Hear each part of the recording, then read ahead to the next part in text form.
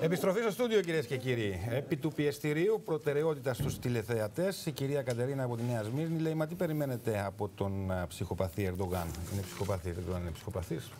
Ε, υπάρχουν και αυτές οι αναλύσεις ε, ψυχοπαθολογικές για τις ενέργειες ενός mm. ηγέτη. Ε, ενώ η κυρία Αναστασία από τη Γερμανία παρατηρεί ότι οι Τούρκοι εδώ στη Γερμανία συζητάνε μεταξύ τους να αγοράσουν σπίτια και οικόπεδα στην Ελλάδα.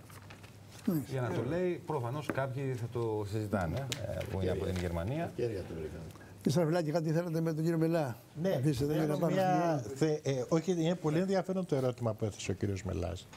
Εγώ αυτό που προσπαθώ να μεταφέρω είναι το εξής.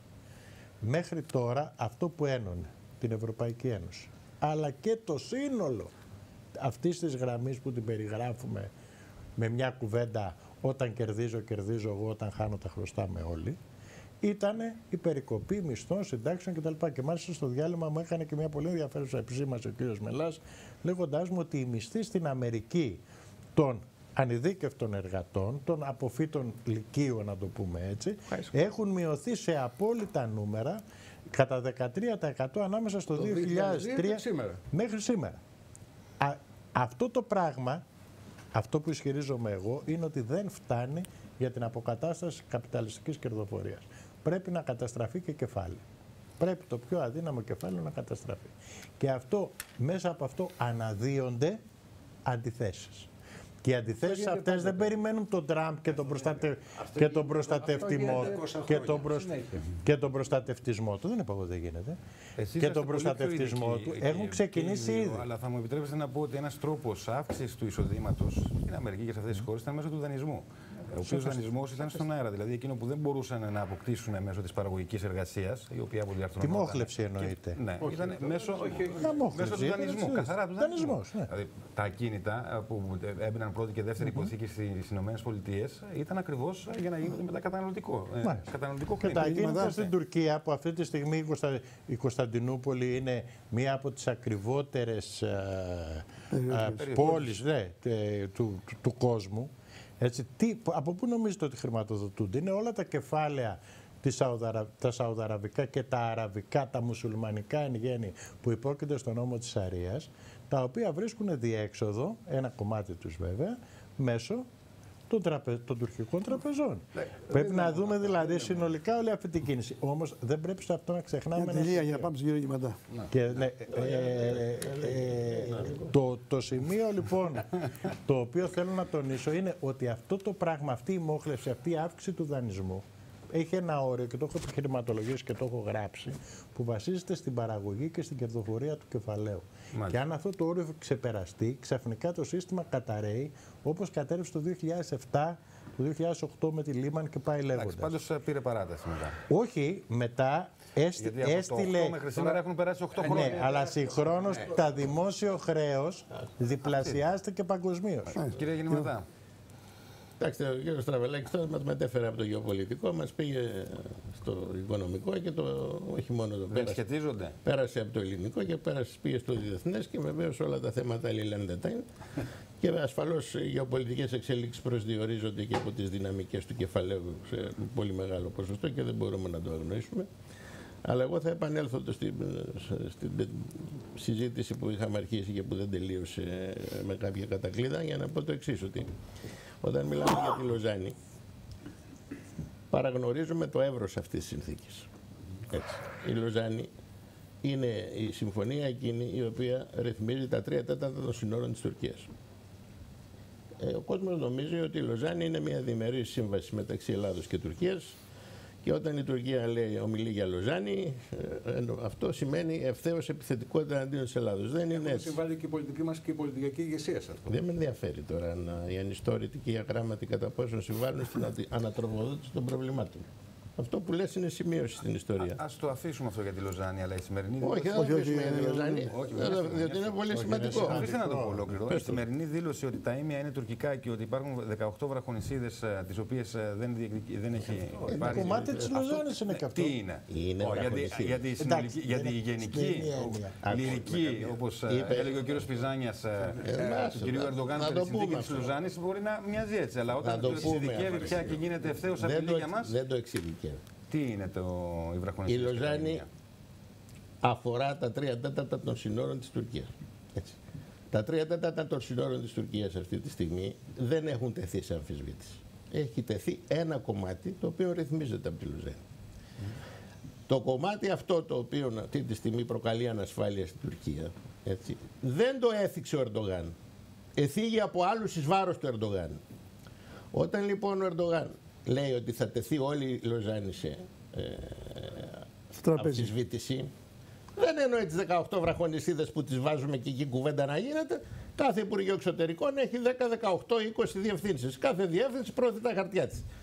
Κάποιος αχλαμάρας που λέει ότι έχουμε και αυτό, πάρε ένα σημείο, πας και για 18 βραχονισίδες. Ναι, Τυχαίνει αυτός ο αχλαμάρας λοιπόν, να είναι υπουργός εξωτερικών της Τουρκίας. Ο υπουργός εξωτερικών θα ρυθμίσει τι θα πει στην κατάλληλη στιγμή. Εμεί αξιολογούμε, εμείς αξιολογούμε ό,τι λέει ο Τούρκος υπεύθυνος μόνο για την Ελλάδα δεν αξιολογούμε τα όσα λένε για τις άλλες περιοχές, οι οποίες ναι. είναι και το επίμαχο σημείο της διανομής. Γιατί βάζουμε στην Ελλάδα, λοιπόν, αν δεν τον ενδιαφέρει. Ότι είναι μέρος της Λοζάνης. Είναι μέρος της Λοζάνης. Και είπε ο κ. Κοπιζάνια, σαν συμπέρασμα, σαν δική του οπτική, ότι θεωρεί πράγματι πολύ σωστό ότι όλο το μεθοριακό στάτους της Τουρκίας αυτή τη στιγμή τίθεται σε αμφισβήτηση.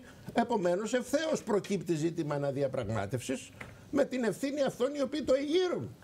Δεν το εγείρει ο Ερντογκάν στην Ελλάδα ή η Ελλάδα στον Ερντογκάν. Από αλλού έρχεται η καραμπόλα και θα αντανακλάσει ενδεχομένως σε οριακές μεταβολές της συνθήκης, οι οποίες άπτονται και των ελληνικών συμφερόντων. Αυτό πρέπει να δούμε. Και είμαι βέβαιος ότι ο Σταύρος καταλαβαίνει τι λέω και θα το αξιολογήσει ο ίδιος μετά. Έτσι. Τώρα, πίσω από όλα αυτά βεβαίως είναι και το καζάνι της οικονομίας το οποίο βράζει και αποδυναμώνει τους πάντες αποδυναμώνει την Ευρώπη. Που σημαίνει ότι αποδυναμώνοντας την Ευρώπη αποδυναμώνει και το μισό σκέλος του ΝΑΤΟ. Γι' αυτό το ΝΑΤΟ δεν μιλάει τώρα. Διότι η πλειοψηφία του ΝΑΤΟ δεν θέλει να έχει γνώμη. Αποδυναμώνεται βεβαίως η Ελλάδα που είναι ο ασθενής κρίκος του συστήματος εδώ και πάρα πολλά χρόνια.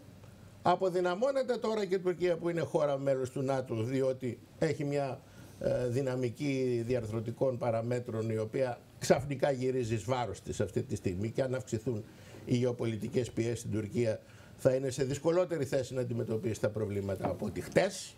Έτσι. Επομένως πίσω από όλα αυτά βράζει και η συνολική ε, πορεία της οικονομίας η οποία είναι εις βάρος όλων Υπάρχει λοιπόν μια γενικότερη αμφισβήτη, αυτή τη ρευστότητα αυτή τη στιγμή, ρευστότητα. Πάντως εδώ συμφωνείτε με τον κύριο Στραβελάκη και εσείς βάζετε το οικονομικό να συνδέεται με το γεωπολιτικό. Δεν αντιλέγεται, αντιλέγεται. Δεν το οικονομικό, διότι εάν η Τουρκία αυτή τη στιγμή δεν είχε αυτές τις αβεβαιότητες που παρουσιάζει η οικονομία της την τελευταία διετία ιδιαίτερα, η οποία συμπίπτει να είναι και η έξαρση της γεωπολιτικής κρίσης, πιθανόν να είχε μια άλλη αυτοπεποίθηση που θα την έδειχνε και με διαφορετική ρητορική. Έτσι. Αλλά αυτή τη στιγμή όλοι αμέσως εμπλεκόμενοι, μη δε του κυρίου Πούτιν, ο οποίος είναι μπραβάντος έτσι και τα λοιπά, ε, είναι οικονομικά άσχημα, άσχημα. Και αυτή η αποδυνάμωση των πάντων περιπλέκει τα προβλήματα και επαυξάνει την αβεβαιότητα πολύ περισσότερο από τη στιγμή που έχει κλονιστεί το διεθνές σύστημα ασφάλειας και δεν υπάρχει ο εγγυητής of last resort όπως λέμε. Μάλιστα. Για εμάς τι σημαίνει αυτό; Απίτο. Για εμάς τι σημαίνει γεννήματα. Να βγάλετε συμπέρασμα. Ο εγγυητής ναι. τελευταίας καταφυγή. Ε, ναι. Ήθελα να προσθέσω σε αυτά που μόλις είπε ο κύριος Γεννηματάς ότι όλες αυτές οι αποσταθεροποιήσεις γίνονται χωρίς αντίπαλο. Μετά από πολλές δεκαετίες στην ιστορία δεν υπάρχει αντίπαλος να επωφεληθεί των, των αποσταθεροποιήσεων είναι όμως ένα αυτό; διαρκές παιχνίδι είναι συστημική κατάρρευση. διαχείρισης αντιθέσεων φυσική λέγεται και ευκαιριακά, καιροσκοπικά. Κατά περίπτωση κινούνται οι παίκτες, οι μεγάλοι και κατά κάποιο τρόπο χτυπάνε λίγο ή πολύ και τους μικρότερους. Υπάρχει και ένας επιπλέον και κατά τη γνώμη μου ο θεμελιωδέστερος, θεμελιωδέστερος και από την οικονομία παράγοντας που προκαλεί κάποιες αποσταθεροποιήσεις στις εξουσίες που θα εκκρεμούσαν να διαχειριστούν ε, όλες αυτές τις αντιθέσεις που συζητάμε, τις γεωπολιτικές και οικονομικές και που είναι οι λαοί. Μάλιστα. Οι λαοί λοιπόν στρέφονται σε εντελώς άλλες λύσεις στρέφονται δηλαδή σε λύσεις που αγνοούν τελείως την αριστερά, την κεντροαριστερά, την παρακάπτουν τελείως, δηλαδή την πετάνε στη Είναι γωνία. η επέκταση του κυριολεκτικά. πεδίου της δεξιάς, όπως έχουν Και διαπιστώσει παρά οι τον Γάλλοι πόλεμο που εργαζόμενοι. δέχονται αυτές οι επιλογές στη Βρετανία, στην Ολλανδία, στις Ηνωμένες Πολιτείες, στη Γαλλία τώρα κλπ. Παρά τον ιδεολογικό πόλεμο που δέχονται από ποικίλες ελίτ, θα έλεγα τις ελίτ της παγκοσμιοποίησης, τοπικές και πλανητικές, τους ροζ, φιλελε... καθεστωτικές. τους ροζ φιλελεύθερους δηλαδή, τους καθεστωτικούς, παρά αυτό τον πόλεμο, οι λαοί κινούνται ακατάσχετα και οδηγούν, προσοχή, σε μια συνολική αναδιάρθρωση της δεξιάς. Μάλιστα. Της εν γέννη δεξιάς όμως. Αυτό το κάνουν γιατί; Δεν το κάνουν. Οι λαοί Ότι πάνε να δεν έχουν, προστατευτούν. έχουν Οι λαοί θέλουν να εξαπατηθεί από, προστατευτούν. τους, από τις άλλες πολιτικές δυνάμεις. είπε πριν ο κύριος Τραβελάκης ότι οι αμοιβές των Αμερικανών εργατών μειώθηκαν σε πραγματικές τιμές κατά 13% μέσα σε περίπου 12 χρόνια. Όχι. Οι άνθρωποι αυτοί δεν έχουν κανένα πρόβλημα με τους ξένους ή με τους αριστερούς ή με τους δεξιούς. Οι άνθρωποι αυτοί έχουν ένα πρόβλημα να προστατευτούν. Να ζήσουν δηλαδή. Και γι' αυτό αυτό είναι. Και δεν θέλουν Μια παρατήρηση. στο Μάντσεστερ, ας πούμε, τα τρία ή τρεις λίρες ορομίστιο να γίνουν δύο ή μια μισή ή η μηδενική σύμβαση απασχόλησης να γίνει υπομηδενική ή ο κατώτατος μισθός να γίνει Υποκατώτατος, όπως υποκατώτατος βρήκαμε όπως εμείς. πάνε να Χωρίς κάνουν. καμία- Αμήνονται. Θα είναι σύντομη η Λοιπόν, παραλία. για- για- Όπως και δεύτερα, Πρέπει να βεβαίως, πάμε στον βεβαίως. ε, κύριο καιρό. Το μόνο σύντομα. πράγμα που έχω να πω είναι ότι δεν, έχει, που δεν είχε ποτέ καμία σχέση η ύπαρξη μεταναστών με τους πραγματικούς μισθούς. Μάλιστα. Έχω να σας πω το εξής. Όταν στην Ελλάδα η, η, η συσσόρευση ήταν κανονική, οι μισθοί στις κατασκευές στην οικοδομή πριν την κρίση ήταν υψηλότεροι και για τους Έλληνες Και για τους και Αλβανούς, τους οι οποίοι Αλβανούς είχαν εργάτες. μπει. Εντάξει, αλλά όταν Ποτέ μπήκαν δεν οι έχει Αλβανοί, υπάρξει αυτό. όταν μπήκαν οι Αυτό Αλβανοί, είναι μπήκαν το όμως ε, με πολύ κατώτατα παιχνίδι. μεροκάματα. Ναι. Και έτσι κατάφεραν να διεισδύσουν και να, Πάμε σε άλλο- σε άλλο- ναι, Είναι και το να διαλύσουν παιχνίδι. έναν κλάδο. Εγώ δεν θέλω να πω Εντάξει. κάτι περισσότερο. Απλώς θέλω να πω ότι το παιχνίδι αυτό της ακροδεξιάς στην πραγματικότητα είναι ένα παιχνίδι που προσπαθεί με ψεύτικο τρόπο Ναι, να εντάξει. διασπάσει. Δεν είναι, Πάντως ναι, ο δεν κύριος είναι παιχνίδι, Φερνάνδης- είναι, είναι αντίδραση του κόσμου. Ε, ο κύριος Πιζάνης Δεν μπορεί να έχεις ψηφίσει ΣΥΡΙΖΑ, να έχεις ψηφίσει ΠΑΣΟ και να πηγαίνεις στην ακροδεξιά. Σταύρο. Είναι θέμα ζωής, εγώ πιστεύω. Μισό λεπτό αν μου επιτρέπετε. Θα, θα, θα, του φάγανε Ε, Μισό λεπτό, αν μου επιτρέπετε, να θυμίσω ότι οι πρώτες αντιδράσεις εναντίον των ξένων στο Παρίσι το 1977, όταν είχε αρχίσει δηλαδή να πέφτει ελαφρώς το βιωτικό επίπεδο των εργατών, ήταν από το αρχετυπικό κομμουνιστικό προάστιο του Ιβρύ στα νότια του Παρισιού από εργάτες, Μάλιστα. κομμουνιστές. Σταύρο. Αυτό δεν είναι κάτι Ε, δεν πώς το- έχει δεν σημασία. είναι κάποιο κοινωνιολογικό. Ή τα φαινόμενα χαρακτηριστικό. μας Δεν είναι λένε πολιτικό κάτι, όμως. Δεν θέλω να φάω το χρόνο. παρακαλώ. Αυτό να- Σταύρο. Σταύρο. Ε, Για Πολλά. ποια απ' όλα τώρα. Πολλά. Ένα ερώτημα σου έβαλε ο κύριος Γεννηματάς, στην υπόλοιπη τη συζήτηση την ακούς. Δεν του βάλα ερώτημα, του βάλα έτσι, Όχι, πρόσθετα η, η, στοιχεία. η γνώμη μου είναι ότι δεν είναι ασήμαντο το δυτικό μέτωπο για την Τουρκία για να σχολιάσω αυτό. Ξέρετε, στην πολιτική υπάρχουν πράγματα τα οποία μετριώνται με γεωπολιτική λογιστική και υπάρχουν πράγματα τα οποία μετριώνται με, γεωπολιτική, με γεωπολιτικό συμβολισμό. Το Αιγαίο και η Θράκη έχουν αποκτήσει μέσα από τις δεκαετίες που μεσολάβησαν από το 1973 όταν ετέθη για πρώτη φορά ζήτημα, όπως παλαιότερα η Κύπρος και συνεχίζει, απέκτησαν έναν ιδιαίτερο συμβολισμό. Γαλουχήθηκαν γενιές Τούρκων διπλωματών και στρατιωτικών. Μπορεί τα ίμια να είναι δύο βράχοι μέσα στη θάλασσα που δεν έχουν καμία αξία. Και αν με ένα μαγικό τρόπο ερχόταν ο Θεός και έλεγε, ξέρετε, εγώ σας εγγυούμαι, Θεός είμαι, μπορώ ας πούμε να εγγυηθώ αυτό που λέω, δώσε Ελλάδα α, α, αυτά τα δυο, αυτούς τους δύο βράχους στην Τουρκία και θα έχουν λυθεί τα, τα ζητήματα, για παράδειγμα. Κανένας δεν θα έχει αντίρρηση να δώσει δύο βράχους. Δεν είναι όμως αυτό το ζήτημα. Όποιος παρακολουθεί συστηματικά αυτό το, αυτή την υπόθεση θα δει ότι άρχισε να εγγράφεται στο πλαίσιο των ελληνοτουρκικών σχέσεων το ζήτημα των γκρίζων ζωνών, το οποίο έχει μία ευρύτητα. Είπε 18 αρχηγός εξωματικής αντιπολίτευσης στην Τουρκία. 18 βραχονισίδες. να ξέρετε ότι υπάρχουν έγγραφα που μιλάνε για πολύ περισσότερα. Για την ακρίβεια, οι Τούρκοι λένε ό,τι δεν αναφέρεται ρητά στις συνθήκες, ό,τι δεν αναφέρεται ρητά είναι γκρίζα ζώνη. Και σας λέμε λέει ότι είναι γκρίζα ζώνη διότι είμαστε και γενναιόδοροι. Κανονικά πρέπει να σας πω ότι αυτά τα εδάφη ανήκουν στην Τουρκία διότι ανήκαν στην Οθωμανική Αυτοκρατορία και εμείς είμαστε το διάδοχο κράτος. Αυτό λένε. Έτσι είπαν ότι η Γάβδος είναι γκρίζα ζώνη. Γιατί δεν αναφέρεται. Για τις συνθήκες τι λέει; Η Λέσβος λέει δίνεται στην Ελλάδα με τις παρακείμενες νησίδες. Ποια είναι η εξαίρεση λέει η συνθήκη; Μόνο οι νησίδες που δεν αναφέρονται ρητά και βρίσκονται στη ζώνη των τριών μιλίων από τα μικρασιατικά παράλια ανήκουν στην Τουρκία. Οι Τούρκοι λέει όμως αφού δεν αναφέρονται ρητά για όλες τις άλλες. Αυτό δεν έχει μόνο να κάνει με τη διεκδίκηση κάποιου εδάφους που μπορεί να μην έχει καμία οικονομική σημασία, όπως είναι παράδειγμα τα ίμια. Δεν έχει και οικονομική ζωή, άντε καρακοπάδι να βάλουν και, και ούτε καν πια. Γιατί; Γιατί; Γιατί καταλαβαίνουν πάρα πολύ καλά ότι εάν πάρουν βραχονισίδες δυτικά δυτικά των, των νησιών του Ανατολικού Αιγαίου, αυτομάτως αλλάζει η κατανομή ισχύως και η κατανομή ιδιοκτησίας και για τις θαλάσσιες ζώνες αλλά και ευρύτερα για το μεγάλη. τεράστια. Δεν το συζητάμε.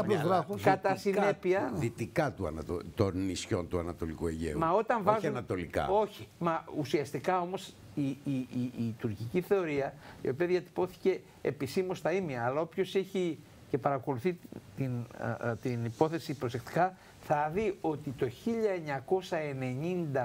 1992 ο αρχηγός του τουρκικού στόλου Ναύαρχος Τινάζ είχε διατυπώσει σε δήλωσή του την ίδια αυτή θεωρία η οποία είχε θεωρηθεί από την, ε, τις ελληνικές υπηρεσίες ως μια προσωπική άποψη που δεν είχε καμία σημασία. Χτίστηκε αυτή η ιστορία. Και έτσι πάντα μας διδάσκει, τα ελληνοτουρκικά μας διδάσκουν πώς γίνεται. Σιγά, σιγά, Κατά συνέπεια, εγώ δεν λέω ότι θα βάλει, θα ας πούμε εξισορροπήσει πιθανές απώλειες στα ανατολικά σύνορα με κάποια κέρδη στις βραχονισίδες. Άλλωστε, για να είμαστε ακριβείς, η Τουρκία δεν απειλείται με εδαφικές απώλειες άμεσα τουλάχιστον έχει τον καρκίνο του κουρδικού στο έδαφος της, γιατί το μεγάλο κομμάτι του κουρδικού έθνους βρίσκεται, είναι 25 εκατομμύρια. Έτσι. Είναι 25 εκατομμύρια. Η, η, η τελευταία απογραφή έδωσε, έδωσε 24,5 εκατομμύρια κουρδικής καταγωγής. Αλλά στα σύνορα, έξω από τα σύνορα, αλλά κολλητά στα σύνορά της, αναδύονται δύο, δύο κουρδικά κράτη. Το ένα με τον Μπαρζανί που προσπαθεί να το ρημουλκίσει στη δική της σφαίρα επιρροή, καλλιεργώντας και αντιθέσεις, και το άλλο που είναι στα, α, α, στη Συρία, στη Βόρεια Συρία, το οποίο ουσιαστικά είναι παράδειγμα του ΠΚΚ. Έτσι, που είναι η κυρίαρχη δύναμη μέσα στο κουρδικό χώρο, στο κουρδικό έθνος. Αυτό είναι φιάλτης. Δεν απειλείται όμως προς το παρόν τουλάχιστον με απώλεια έδαφων. Απειλείται με δυσμενείς γεωπολιτικές εξελίξεις στην περίμετρο των συνόρων. Έτσι. Αυτό έχει να κάνει με τα δικά μας και με το Κυπριακό και πρέπει να πω ότι σε αντίθεση με τις απειλές που ακούσαμε τα προηγούμενα χρόνια για προσάρτηση των κατεχομένων στην Κύπρο, που ήταν περισσότερο εκβιασμοί με σκοπό ας πούμε να ασκηθεί πίεση στους Ελληνοκυπρίους, τώρα θα μου επιτρέψετε να εκφράσω την εκτίμηση ότι τα πράγματα δεν είναι ακριβώς έτσι. Δηλαδή υπάρχει κίνδυνος, έχει τον πειρασμό ο Ερντογάν να προχωρήσει σε προσάρτηση. Γιατί, γιατί πρέπει να μετρήσουμε το συμβολισμό της εδαφικής επέκτασης. Θα είναι η πρώτη φορά μετά την Αλεξανδρέτα, μετά τη δεκαετία του 30, που η Τουρκία θα μεγαλώσει, έστω και κατά τη. Θα μου πείτε, αυτό είναι το πρόβλημά της. Ε... Μην υποτιμούμε τον συμβολισμό που στα, στο μυαλό των Οθωμανών στην αντίληψη που έχουν και στη σχέση που έχουν με τη βαθιά Τουρκία παίζει καθοριστικό ρόλο. Επιτρέψτε μου να διαβάσω μια-δυο ειδήσει. Ε, Πάνω Καμένος, Υπουργός Άμυνας, αν ο κύριος Ερντογκάν θέλει να καταργήσει τη συνθήκη της Λοζάνης, θα επιστρέψουν στη συνθήκη των, Σερβών, ε, των Σευρών. Συγγνώμη. Μήνυμα από το φυλάκιο της Μολυβδοσκέπαστης. Ε, και κάτι που προβάλλεται σαν νέα ε, πρόκληση της Τουρκίας, ότι ζητά να εξαιρεθεί και η Κάσος από στρατιωτικές ασκήσεις της Ελλάδας. σιγά. Ε, έχουμε και στην ε, Κύπρο, που νομίζω ότι είναι μια συνάντηση ε, του Ακιτζή με τον ε, Αναστασιάδη. Ε, δείπνο έχουν κιόλα σήμερα με τον ε, απεσταλμένο του ΟΗΕ.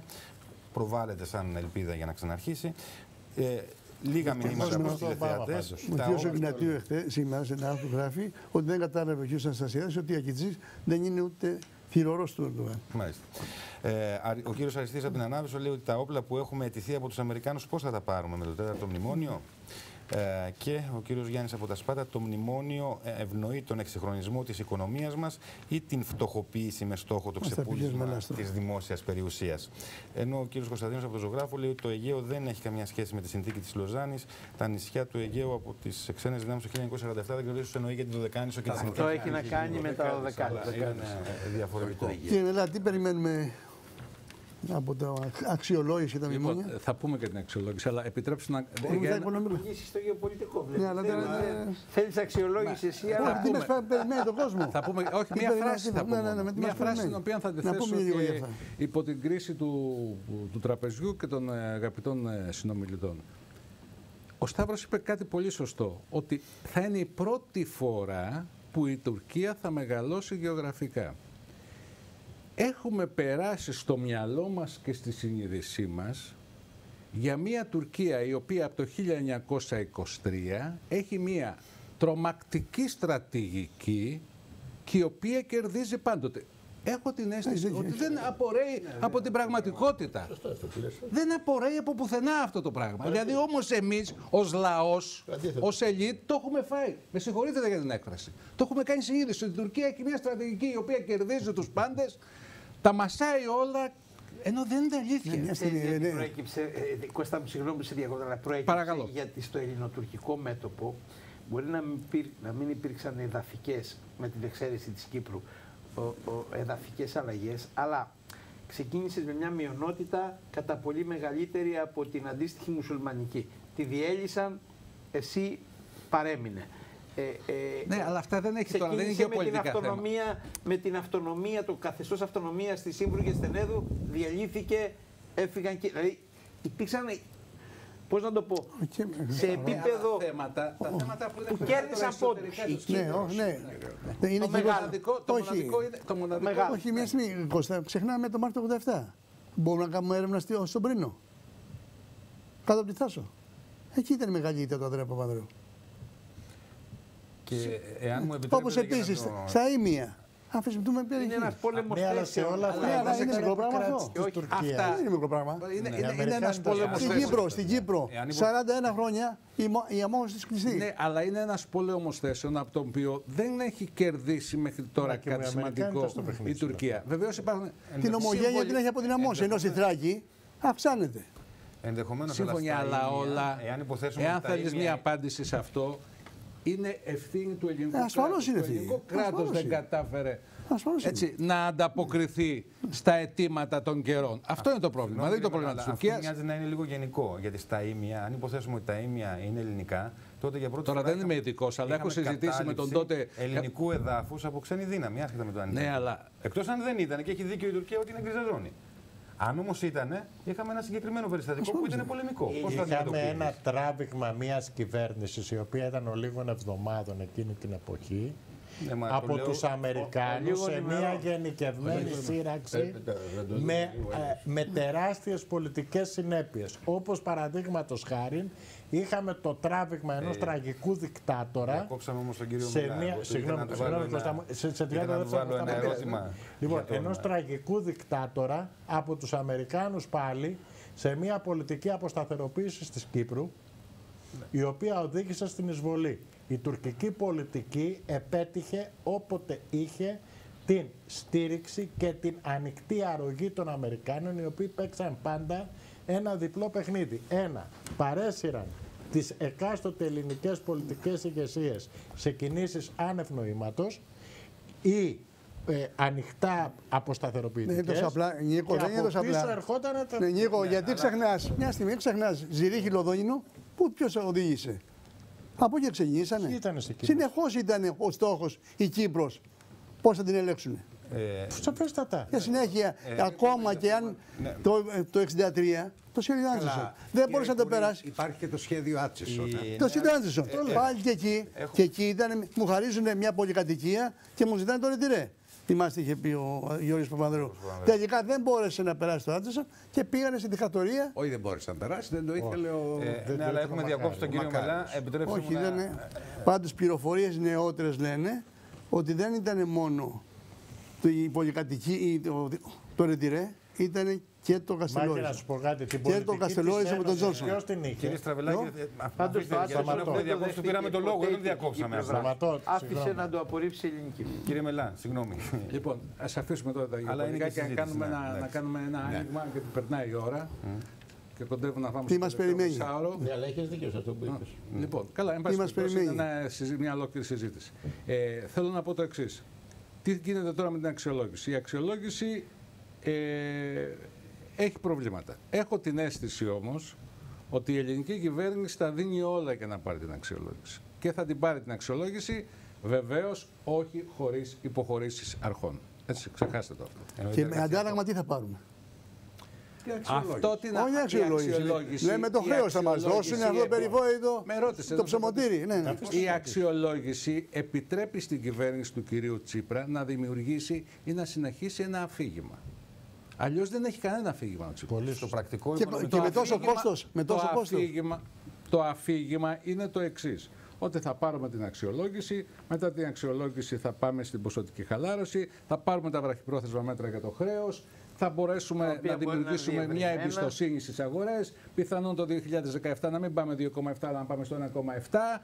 Και εν πάση περιπτώσει έχουμε ένα αφήγημα το οποίο να πούμε στον ελληνικό λαό εν ώψη εκλογών μετά από ένα χρόνο, όταν τα πράγματα πιθανόν κατά το μυαλό Η ζωή των- του πολίτη θα χειροτερέψει ή όχι; η, η, η, η ζωή του Έλληνα πολίτη θα χειροτερεύσει. Αυτό δεν το Μάλιστα. συζητάμε. Αυτό είναι Τι αφήγημα είναι και θα πάει σε εκλογές; χωρίς. Μα χωρίς την αξιολόγηση δεν θα έχει ένα αφήγημα. Θα πάει σε εκλογές και να πει τι. Θα πάει αύριο.